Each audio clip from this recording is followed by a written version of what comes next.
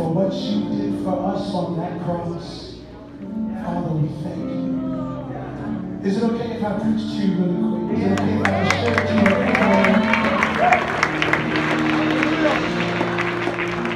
quick story in the book of John, Pastor Howard gave a great word this last Sunday.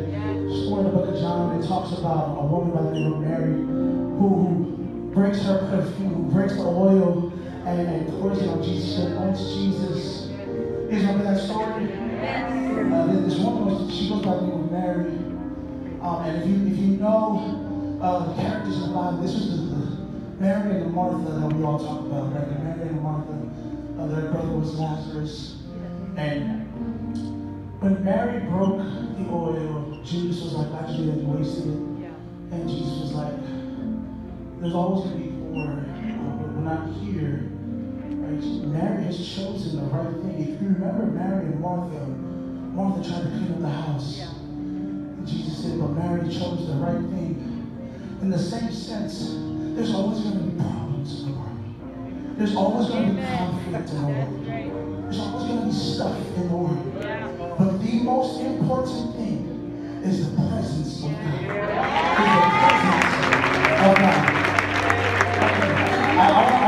A step further I want to encourage you with this. When Mary broke the oil, it was a form of worship unto Jesus. That's right. It was a form of acknowledging and, and worshiping Jesus with her oil. Now here's the cool thing. This event happens right before Jesus uses an entry. This is right before he rides in on the donkey. And we all know that Passion Week, everything that happens this week is in preparation of our Savior who takes our sins to the cross and rises on the third day. Amen? Here's what the Lord spoke to me. That in her preparation, in her worship, there was preparation before the preparation.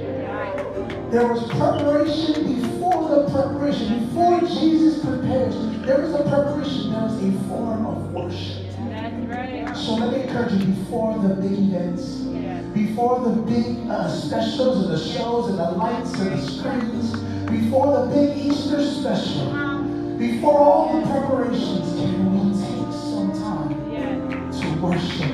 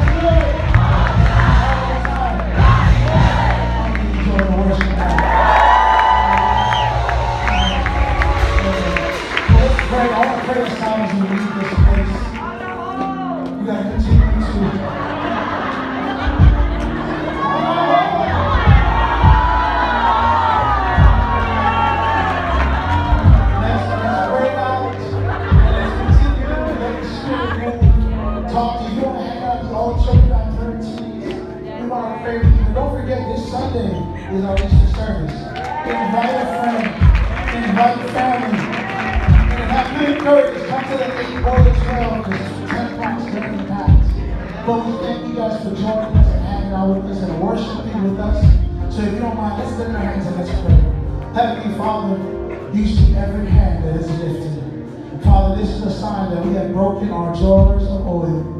That Father, we are here to worship you even before the festivities, even before the events, even before the preparation. We are here to worship you. So, Father, as every heart that has been a part of this service, Lord, may you continue to cultivate the soil. That, Father, may we stay humble before you.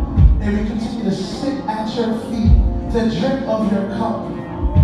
Father, we thank you for all that you've done, all that you're doing, and all that you're about to do. Father, this Passion Week, we magnify you, we glorify you, because you are so worthy of every breath that leaves our lungs.